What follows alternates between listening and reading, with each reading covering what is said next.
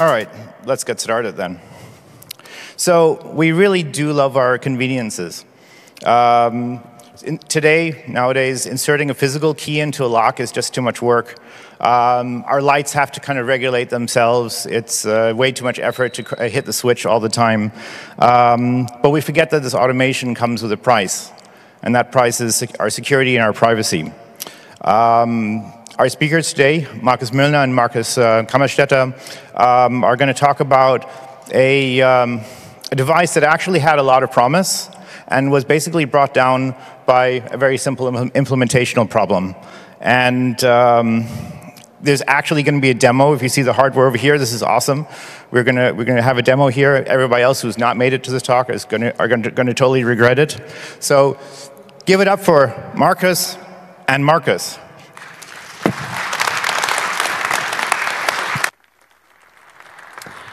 Yeah, thank you everybody for coming. I'm still waiting for the slides. Okay, that's awesome. So my name is Markus Kammerstetter. With me on stage is my colleague Markus Milner and two other colleagues who have been involved with the project are also here, sitting over there, um, Christian Kodera and Daniel Burian. And all together we are from the security consulting company Trustworks KG. So I would first start out by giving you an idea who we actually are. So as I mentioned, we are a security consulting company, so we focus on security consulting, engineering, and security research. The company was founded in 2012, but the security consulting work actually reaches back to 2005. And so today what we do is we do security audits. We do security audits of web applications, software applications, so this is pretty much what everybody else is doing as well. But we have a strong focus also on embedded devices, and with our hardware security lab, we can even go down to the microchip level. So just to give you an idea what we do, in addition to that, we do embedded and security engineering and high-speed cryptography. The second slide, this is the lab that we have, so we can really go down deep uh, even to the chip level. We have a focused ion beam workstation, a scanning electron microscope to do this kind of work. And typical work we do in the lab is like evaluation of against side channel attacks or fault injection attacks. And then we can even go to the microchip level by doing fully invasive attacks. And our general idea here is that we have more sophisticated equipment in the lab, and so we can make up analysis time. So we can do an analysis in a shorter amount of time, whereas a normal attacker who wouldn't have all these uh, tools has typically more time to conduct attack. Okay, so now the big question, how in the hell did we get to garage doors, right? So as you might know, many of the garage door systems that are out in the field that are really known to be insecure they're insecure because they mostly use static or very simple rolling code schemes. There is often no encryption at all, and for this reason, you can mount very easy replay attacks or cloning attacks. So this is pretty much known. And in contrast to that, there is this, uh, there's the Herman B-Secure system. So it uses the well-known AES encryption algorithm. It is a high um, security established system in the field. And if you compare that to the classical systems that are really easy to break, it is a big security improvement. And yeah, to answer the question how we actually got to this system is the two of our security analysis, uh, both are sitting here. Um, they have the system at home. And so, so they, they were asking the question, um, is the system really secure? So is the system implementation secure in practice? Does the system really use the AES algorithm? And is the algorithm used in a secure way? How is the key material generated? How is it used? Um, is the key material individual or is there maybe shared key material among different systems? What do the messages look like on the RF interface? And last but not least, the question, does the system adhere to the Kerckhoffs principle? So if an attacker really knows exactly how the system operates, and the only thing he doesn't have is the key material, then the system should still be secure. And this was the point where we decided to conduct a security audit. So how do you start a security audit on a system like this, on a wireless system with all these hand transmitters and the receiver that's typically in the garage? And so uh, we started off with the hand transmitters. So we already had a few of them. We also obtained new ones. And so what we had is we had different models. We had different manufacturing dates. So some of the older hand transmitters that we had were already bought in 2015, whereas the newer ones were bought in 2017. And so in general, we can say that our analysis then will also cover a broader range in terms of the different models and the manufacturing dates. So to start out, what we did is we conducted an RF signal analysis. From the system manual, we already knew that the system operates somewhere in the 868 megahertz range. So we used a software-defined radio, I played RF in this case, and our goals at this point were just to find out what is the exact frequency the system operates, then what is the modulation scheme that the system uses to transfer the data, what is the channel coding? And after we have answered all these questions, hopefully um, decode RF frames. So if you have one of those uh, systems, um, what can you do to find the frequency? It's actually pretty, e pretty easy. So you can just use the GNU Radio tool suite. We also did that. We performed the spectral analysis. So we tuned our software-defined radio to this 868 megahertz with enough bandwidth so that you can really see the signal, and then you just do uh, a waterfall plot. And what you will see there is if you press on the hand transmitter, you will see something like this. So this is just a normal waterfall uh, diagram. It shows the spectrum over time. And here we can see that there's a signal um, with a center frequency of 868.330 megahertz. So we have now already identified the frequency. That's good. But what we also see is on the left and on the right side, you can see those peaks. So when the signal is transmitted, it uses uh, actually two frequencies and it switches between them. And this is a very strong indication that frequency shift keying is used. So the idea of that is that if you have a zero bit, you transmit a bit of a lower frequency, and if you have a one bit, you transmit a bit of a higher frequency. pretty simple.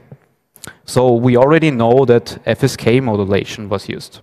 Now the next step is um, we want to know the channel coding. So if we demodulate the signal and we have the data bits, the data bits are still in a channel coding scheme. And we need to find out which uh, scheme is used. And so what we did is we had a look at the signal, and in the first step, it was necessary uh, to get to the, uh, to the right symbol rate. And the typical signal starts with a synchronizing block. So this is just a very simple waveform uh, with an alternating high and, and, and, and low signal all the time, and it allows the receiver to synchronize its symbol to the transmitter. And we did just the same. So it allowed us to synchronize on the signal. This is a picture where you can see that. Um, so on the left side here, you can see the synchronization block. And after that, there's the data block. And once again, here we are in the time domain.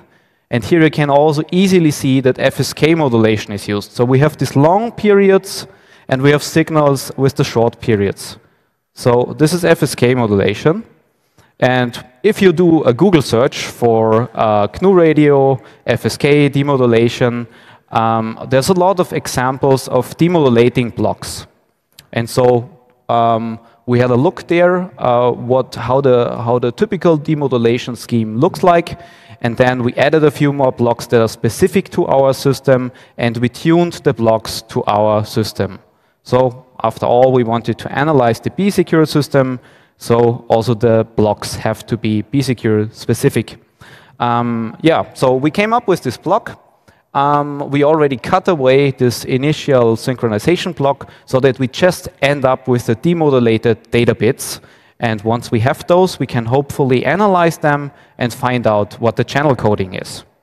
Yeah, we just did that. We analyzed the captured dump file, and interestingly, what we could find in there is there were always uh, sequences of symbols.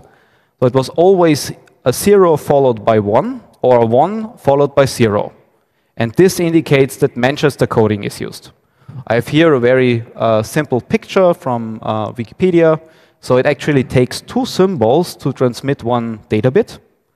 And uh, if you have, for instance, uh, first a symbol of 1 and then a symbol of 0, the data bit is 1.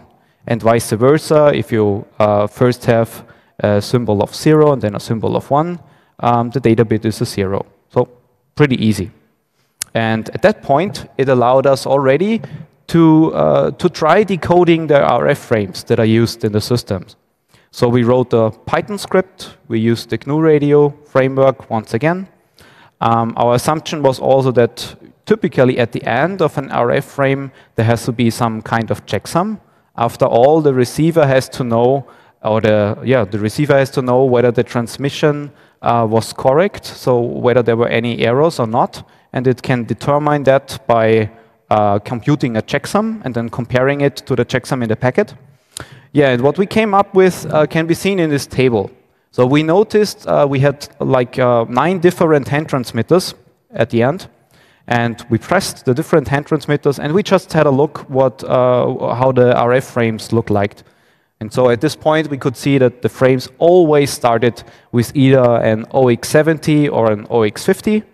After that, there was the serial number, so it was a four byte value that was individual per hand transmitter, and it didn't change at all per hand transmitter. After that, there was the encrypted data field. So we knew that the system uses AES encryption, and this, there was this very large blob that changed each time. So obviously, that has to be the encrypted data. And we also assumed, but really weren't sure at that point of time, that the last byte is probably um, the checksum value. Okay, now, so we have managed to decode the RF frame. We have a pretty good assumption of what the signal looks like, but still, our main question is, how does the system operate? How, how, does, the, how does the encryption scheme work? And so our next step was to uh, hardware analysis. So we just opened up a transmitter, and here you can see this on a picture. So it's just, um, I think it's from, from one of those transmitter, very pretty small. And if you open that up, you have this PCB. You can find uh, different chips on there, and you can also see that there are a lot of test pads. And uh, in fact, the, um, the chip with the little sticker on it is a microcontroller. So in general, we had a look at the chips, at the chip markings. Um, we could find out that there is a, a transmitter IC in, uh, on the PCB, the SX20 uh, or 1230 uh, radio chip. So there's a public data sheet for that, so we knew what kind of chip it is. However, more interestingly was the microcontroller. After all, the microcontroller contains the actual system implementation. So if we are able to analyze the firmware, we will also find out precisely how the system works and whether it contains security vulnerabilities.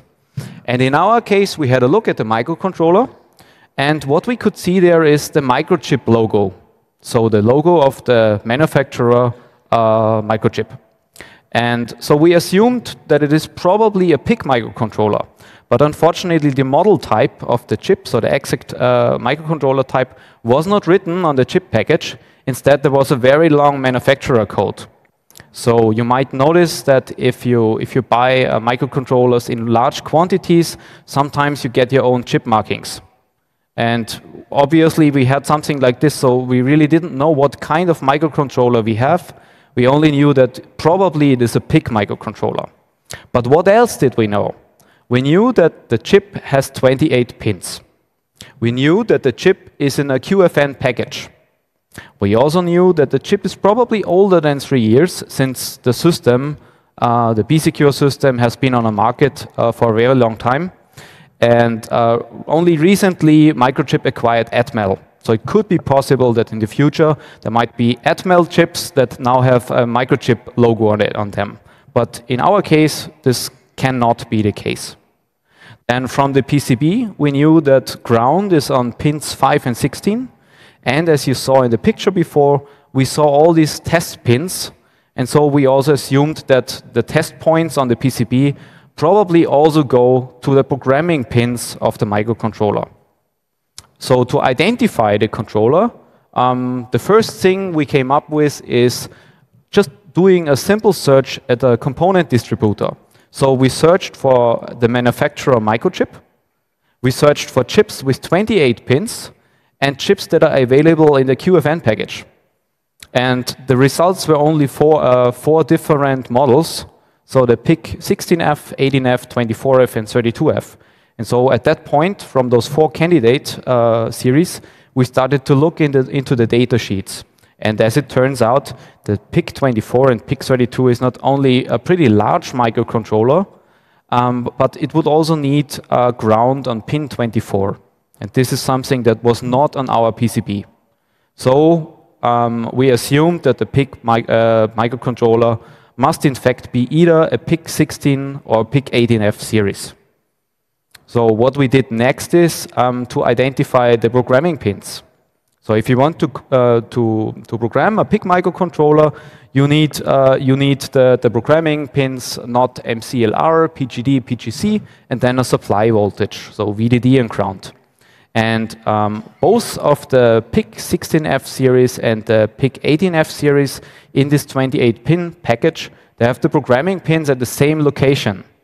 So it's easy, and at that point, you can just uh, connect the, um, the, the PIC3 uh, programmer to the device. So that's like a very low-cost programming tool that everybody is using to program PIC microcontrollers. So this is the picture of the PCB. And now uh, you can also see in red, uh, marked in red, the, the test points on the PCB. And in the table on the right, um, we can see that, in fact, the programming pins have been uh, connected to those test pads. Yeah, so we did a little breakboard, uh, breakout board to connect the Pickit programmer. And um, yeah, we wanted to know what microcontroller we are dealing with. And the programming tool um, reported to us that, in fact, it is a PIC18F uh, 26K20 microcontroller. Okay, so much for that. But what it also told us that we already assumed it, uh, that all the flash blocks are locked. So there are code protection bits, and we cannot just read the firmware. The firmware is locked down. It cannot be read out. What we also saw is that the EEPROM at this point is not locked. So we could just dump the EEPROM at this point, but unfortunately it doesn't contain the firmware. Yeah, so we want to do a firmware analysis because in the firmware there's the entire system implementation. And only by conducting a firmware analysis we will know how the system operates and whether the system is secure and yeah, firmware is locked. The locking pits on the, on the PIC microcontroller are typically implemented in the form of a security fuse. But yeah, since we were in the situation that we could not dump the firmware, um, the issue uh, would be more or less that we cannot get the firmware out. And so we would have to go back to security by obscurity. We would have to trust the manufacturer that the system is really secure because we cannot dump the firmware. Yeah, so what we did is we have hardware security lab, so we have a lot of methods that we can apply to, to even conduct a security audit in this case. Our first question was, how is the security fuse logic implemented on the PIC18F microcontroller? How does it look like? What are we up against? What do we need to get around to be able to extract the firmware? And our approach in this case was to do an IC decapsulation, so to open up the chip and then do a rough microscopic analysis. So here are some pictures. It's a rather easy process. So uh, you just desolder the chip, and then uh, we follow a, a, a, wet chemical decapsulation process. And in the last picture, you can see that uh, the, the chip has been opened up. It would still be functional at that point, but uh, we can visibly see the die now. So in the next step, um, we, we used the chip and um, we, we had a look at it in, in our microscope. And this is what we could see. So this is a PIC 18F microcontroller. It has a very large flash area, it has an SRAM, it has an EEPROM. And on the sides, on, on the right side, is the area where we suspect that the security fuses are. Big question. Why do we suspect that there are the security fuses? Yeah, um, on today's microcontrollers, it's often very easy to spot them because of those little metal shields. So in the old days, there was, a, there was an attack where you could just reset the security fuses by using UV light. So you could erase the security fuses with UV light, and after that you could just dump the chip. And um, as a countermeasure, manufacturers uh, came up with those little shields. So now you can use those little shields to spot the potential areas of the security fuses. Okay, so we knew at this point what we are up against, what we need to do. And um, we were sitting in the lab and exploring different options that we could do. And um, yeah, so the first method that came to our mind is the chip is already uh, we could do an invasive FIB circuit edit. So we have a FIB already, and um, the approach would work uh, in the following that we that we would have to identify the security fuse logic. So we already know where the security fuses are. We would have uh, to uh, to look a bit deeper into that to find out how the logic works, and then we could bypass the security fuse by using uh, by applying a FIB circuit edit. Okay, so that's a method. Um, and the big question was, uh, what would be the advantage of it and what would be the disadvantage? The advantage is, yeah, if you can do that, um, you have a high success rate. Disadvantage is, we didn't uh, do an analysis of the PIC18F before.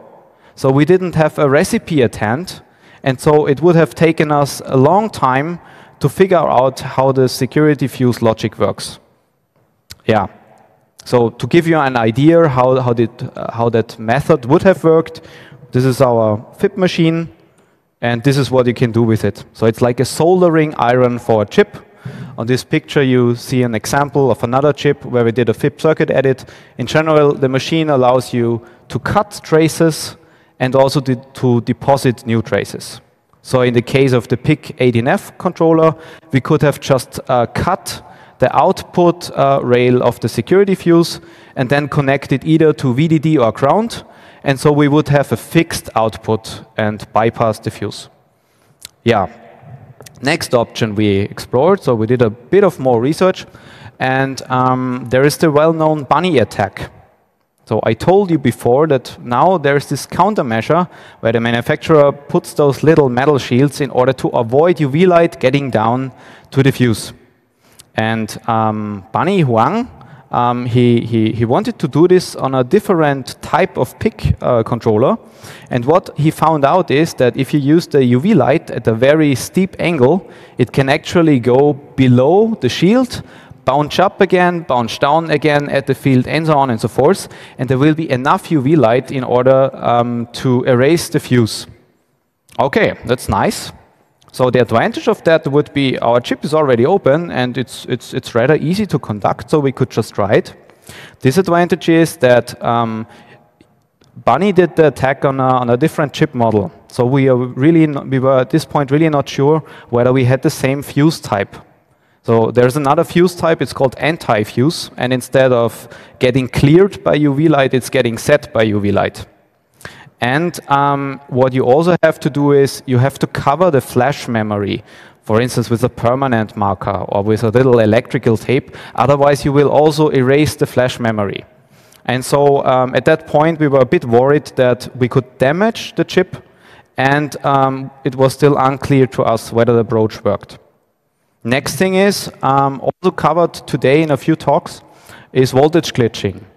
So we have uh, a voltage glitch amplifier where we can uh, where we can conduct glitch uh, attacks at, at very with very short pulses and high current. So we could try to glitch the chip in order to extract the firmware. Advantage would be it's easy to conduct. Disadvantage is we have really no idea if this approach works um, on the PIC18F, and we would have to find the glitch parameters first. Yeah, so these are the methods so far that we explored. And after doing more research, we also found the easy way. So the easy way that really everybody with the technical knowledge can conduct at home uh, without all these fancy tools. So there is a really a trivial design issue in the PIC18F security fuse logic. And the design issue is that the PIC18F controller, it has uh, five memory blocks. And each of those memory blocks has uh, a separate security uh, bit, so a separate locking bit. And what you can do is you can erase a locking bit of one block. Therefore, you will also erase the content of the block. But the remaining blocks, the programming will stay intact. So you can just like upload a dump code to this block, and then by using this dump code, the dump code will extract the remaining blocks that are still locked. And this has in fact even been presented at the CCC at the 27C3 in 2010 already by Milos Meriak in his talk Heart of Darkness, Exploring the Uncharted Backwaters of Hid eyeglass Security. Yeah, so in order to do this, um, we implemented a very simple PIC firmware extraction tool. So it was just a little breadboard setup. We used an FTDI board, so one of those USB to serial converters, and we wrote a bit um, of, of, a, of, of, a, software tool. So it was just a small software script. So our setup then allowed us to directly talk uh, with the PIC microcontroller programming pins. So this is what it looks like on this PIC18F when you start out. You have five memory blocks. So um, the first block is the boot block. After that, you have the first code block. It's a bit smaller because of the size of the boot block. And after that, you have the additional code blocks. And all of them are locked right now. And so what you do is you remove the, the lock bit, for instance, in this case here, of the boot block, and therefore you also erase the boot block. As I mentioned, the other um, blocks remain intact. Then we create a little dump code. We program it to the, good, uh, to the boot block. And once um, the chip is powered on, our dump block will execute and it will just happily dump the remaining four code blocks. Um, and after that, we will have a partial dump of the microcontroller, even so it is locked. However, the only thing we don't have is the boot block because we overwrote it and the content obviously is irrevocably lost. Okay, so we do, uh, what do we do at that point? How do we even get that? Yeah, it's easy. Just take another PIC microcontroller with the same programming. So start out again, repeat the process. So this is what we did. But this time, of course, we have to erase another code block. Um, you use the dump code again. And now the dump code can be used to also dump the boot block. However, keep in mind that the execution starts at the boot block. So we don't know exactly um, where, at, at what point in our block um, there is the destination from, uh, from, for a jump instruction. So we don't know ex exactly where execution jumps into our block.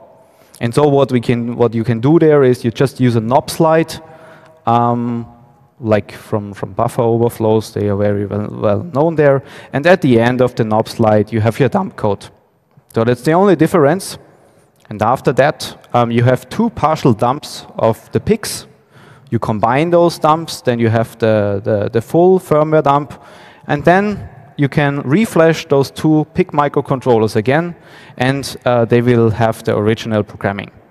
So at this point, we had extracted the firmware, and uh, we could start doing a firmware analysis. So for this, we used the well-known IDA Pro tool. It, uh, it supports the PIC architecture, and yeah, and this way we analyze the firmware to find out how the system operates. So the firmware analysis provided us with a very deep implementation insight. So we could, uh, we could confirm how the checksum is uh, computed and that in fact the last byte is a checksum. Uh, we knew how the RF protocol works and we could also obtain um, how the encryption uh, methodology in the system works. So to give you an idea, this is the result of our analysis. This is the cryptographic scheme and key generation that's used in the Herman B-Secure system.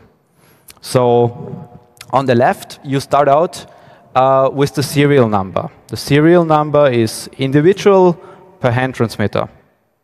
And um, at the heart um, of the encryption algorithm, you have AES 128 algorithm. And around that, there's a bit of magic happening, which we believe is a countermeasure, a whitening approach uh, against side channel attacks. And on the left, you have an, a random seed, and the entire block just generates a new random seed. However, on the right, there is a static value that is shared among all the hand transmitters. The random seed is used as a key, and it outputs the long-term communication key. And subsequently, this key is always used to encrypt and decrypt uh, wireless frames. So if we combine that with what we discovered by uh, doing the RF signal analysis, is, uh, yeah, this is what we receive. And we know the serial number. The serial number is transmitted in the clear, so we have the input to this, uh, to this scheme, the serial number input. Next thing is, uh, we also know the static value. Static value is contained in the firmware, and it is shared among all the hand transmitters. What we also know is, of course, how the encryption with the AES algorithm at its heart, uh, how it works, because it's implemented in the firmware. And what we found out is, um, yeah, we have the initial random seed, and of course, the initial random seed has to be in a hand transmitter. Unfortunately, what we found out is that the very same initial random seed is used on all the hand transmitters uh, that we analyzed. So in other words, we had all necessary data to compute a communication key from a serial number. Now, how can we attack this vulnerability? Yeah, to do an attack, you can, for instance, use a low-cost software-defined radio, such as the CCC rad1o, we will demo that um, in, in, uh, in a few minutes, or the HackRF. And in our case, yeah, like I mentioned, we used the CCC rad1o. We were uh, visiting the CCC camp 2015, and it was available for free there um, as a conference batch. So what you do to perform the attack is um, you record the RF transmission from an BiSecur hand transmitter one time. It's only to, uh, you, you only need to do it one time. And so you receive a wireless frame. So by now, you should uh, know how the frame looks like. And in the next step, you use the information that you have obtained from the firmware analysis and from the RF frame. It looks like this. So we really know everything um, that we need um, to compute the communication key. This is what we do in the next step. We compute the communication key candidate. The candidate is correct if we decrypt the encrypted packet and it has the known plaintext structure. Otherwise, we, we, we repeat that process. Why do we have to repeat the process at all? Yeah, repeating the process is necessary if the user has manually generated a new key. So the system offers this functionality, and if a user has done that, maybe we have to repeat the process for one or two times. And after that, we know the long-term communication key. We can decrypt the um, encrypted message from the wireless frame. Um, we can increase the contained counter value um, just by one, and then encrypt the message again with the long-term communication key. And in the last step, we use the CCC rad1o, for instance, um, to transmit the frame. Yeah, and for that, um, we have prepared a live demo. Will hopefully work. And I would ask the video guys to switch over to Markus. So, thank you. For today's demonstration, we built a little setup. Um, this is actually the rail of a garage door opener. So this would be mounted on the ceiling of your garage, and it moves up and down the flag over there. Down here is the operator, which, is, um, which has the built-in receiver for the radio. And we can actually operate it with a remote. So to, if you like.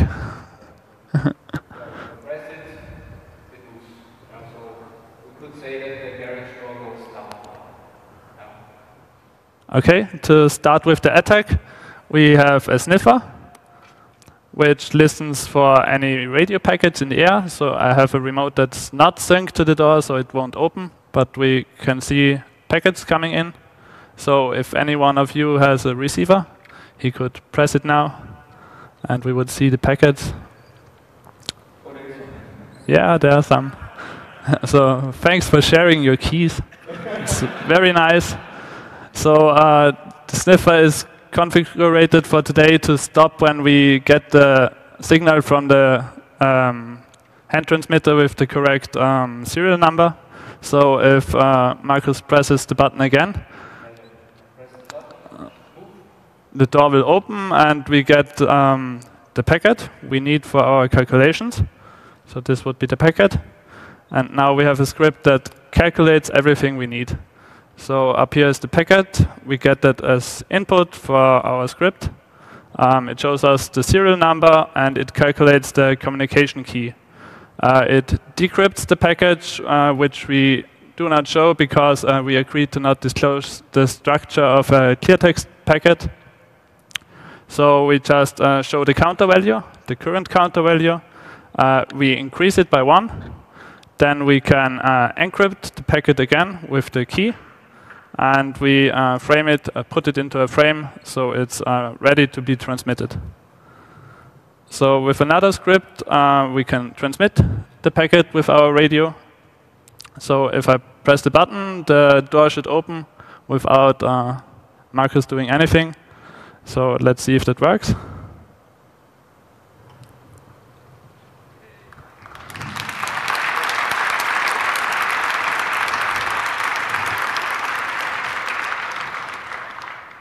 And now we can again uh, start up the sniffer and see what happens if Markus presses the button of his remote again.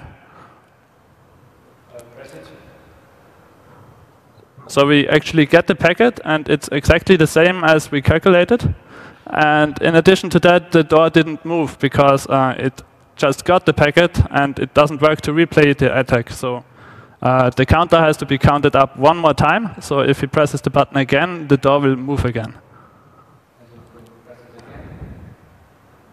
Yeah, it works again. Okay, that's uh, for our live demo, and Markus will continue with our impact assessment. Thanks.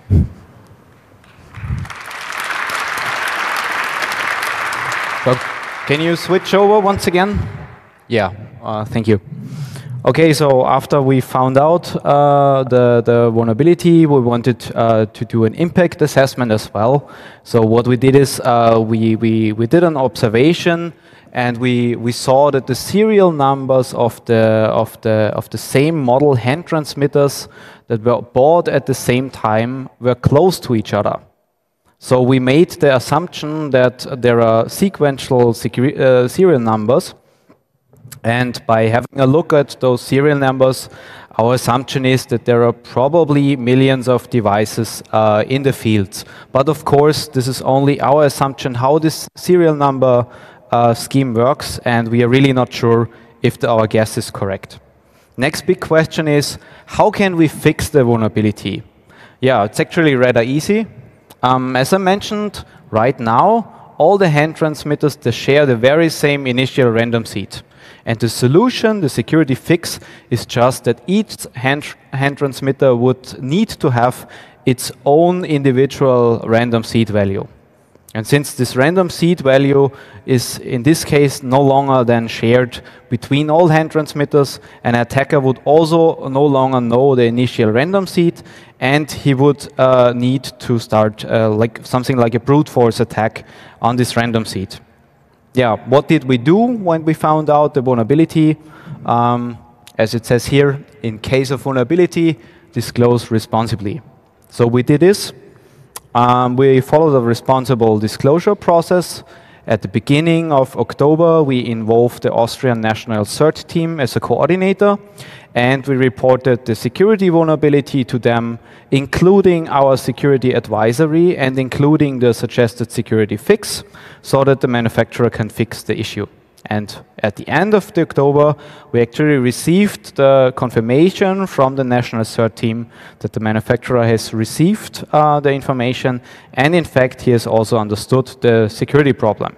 Yeah, After that, we had various email and phone call exchanges with the manufacturer. And at the end of the November, they also visited us in our lab and uh, we presented the vulnerability once again and uh, also the suggested security fix. And in December, we also received information from them that, that they have now implemented a security fix and they, they are currently in the testing phase. Yeah, to conclude the talk, um, we presented a viable methodology that can be used if you want to analyze a wireless RF system, uh, something like similar to this one, that, for instance, also uses microcontrollers. Um, of course, we believe that if you are a manufacturer and, and, and you create uh, something like, like this, uh, so you, you want, really want to have a secure system, we believe that it's important to do independent security audits. Um, so they can be really an essential tool to achieve a high level security um, because then you know uh, you have this external viewpoint and if vulnerabilities can be found, you can then fix them at an early point. Yeah, besides, if it comes to hardware um, and hardware security, it's also pretty good if you have a hardware security lab at hand. So as you saw, you have a lot of methods that can be used. So it's not that you have a system in front of you and you want to do a security audit, and then you say, okay, um, now I'm stuck. I cannot read the firmware. I cannot do a firmware security audit. And so if you have more options, it's, it's, it's just easier. Yeah. Yeah, um, you also saw that we follow the responsible disclosure uh, process. So in addition to following the process, we also tried to support the manufacturer uh, in, in, in, understanding and also in fixing the vulnerability. Yeah, and last but not least, uh, we will also publish the security advisory uh, today after this talk. We already have a CVE ID, and the CVSS score. And in this case, the CVSS score is pretty high, um, and we believe it is also a significant uh, vulnerability. Okay, so that was it for our talk. I hope, I hope you enjoyed it. And if you have any questions,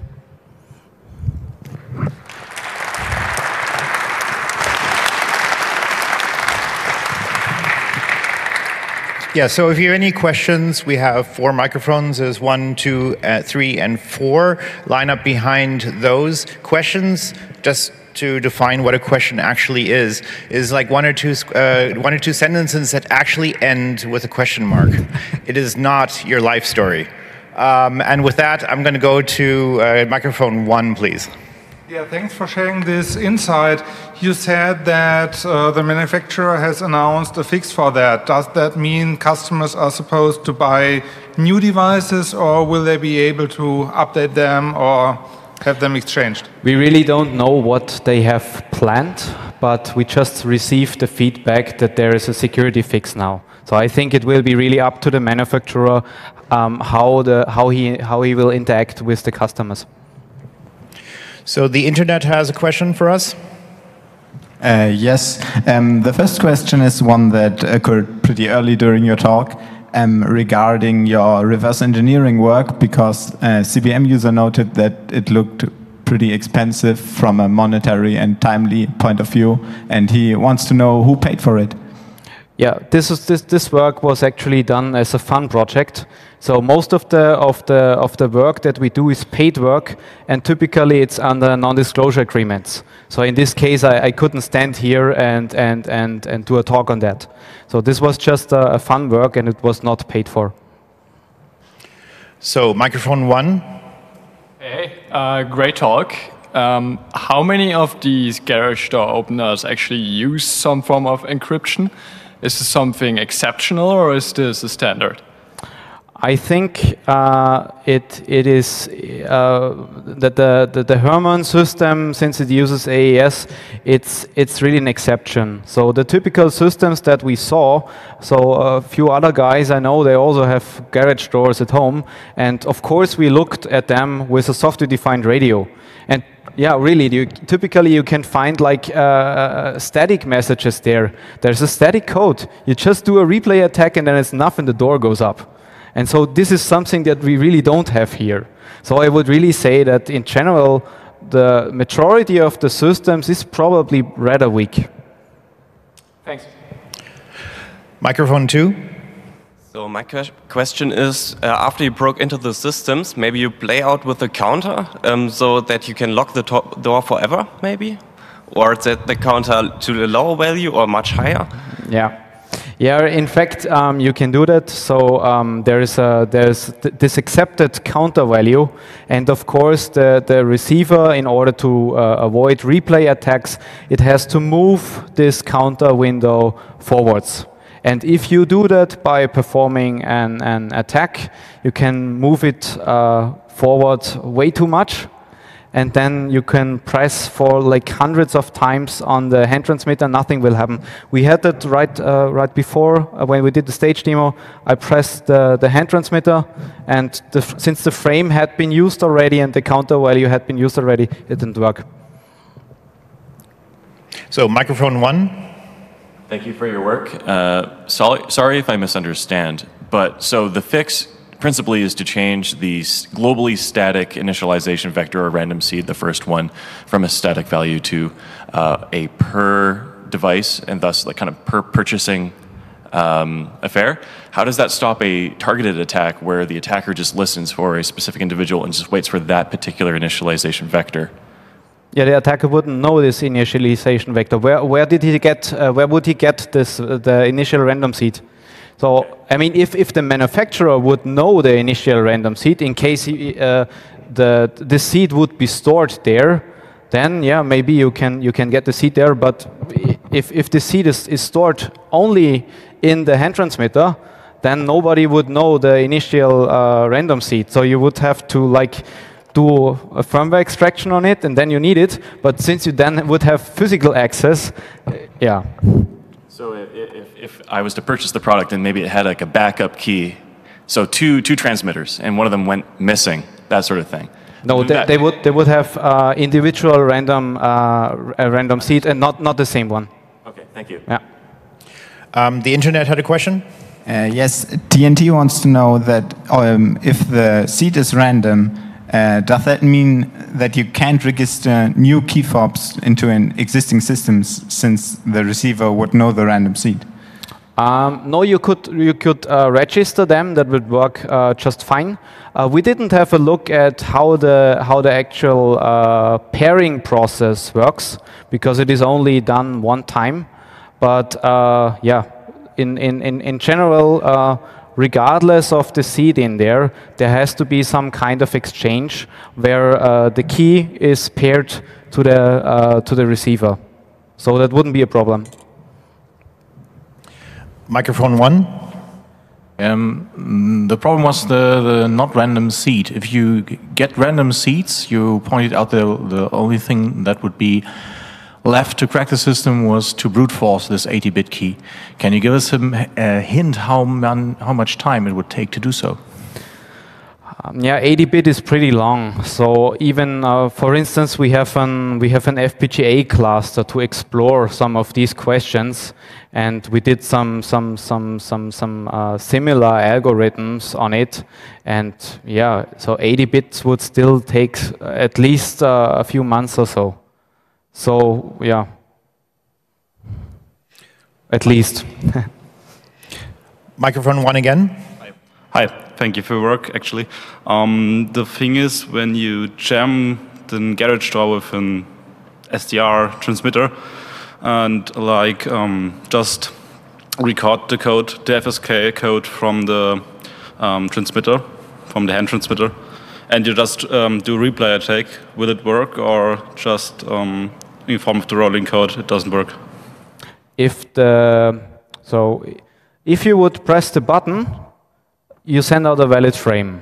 Yes. And if this frame never reaches the receiver, you could use this frame at a later point of time and open up the door. Yeah. yeah okay, thanks. But um, the thing is, when the um, like when the frame isn't used, but a new frame was sent, Will it, the old frame still be active or? No, in this case the frame would become invalid because you have uh, a newer counter value then and all counter values before that are invalid. Okay, thanks. So the internet? Uh, yes, a rather popular question. Um, you noted that there will be fixes and that the devices will be updated. And uh, do the other devices updated automatically, or do they do the does the company have to go to the garage doors? And if they are updated automatically, are the garage doors connected to the internet? No, uh, so the, the, the, neither the doors nor the transmitters are connected uh, to the internet. So uh, we really don't know what the manufacturer has in mind here, but they cannot be updated automatically online. Microphone one. Are there, um, are there any other findings in the code that you have dumped? For example, synchronization code or something like that, updating firmware or something like that? No, we, we just had a look at, at the scheme that is used. And since we, we, we already found this vulnerability um, in, in, in the scheme, how it is uh, like uh, how it is found on, on the systems in the field, we stopped at this point. Okay, thank you. And I think we don't have any more questions unless somebody's really, really quick. So I'm really glad that my garage does not have an automated uh, system. And but with that, I would like you to um, help me in thanking Markus and Markus for this fantastic talk and make this really count. Thank you.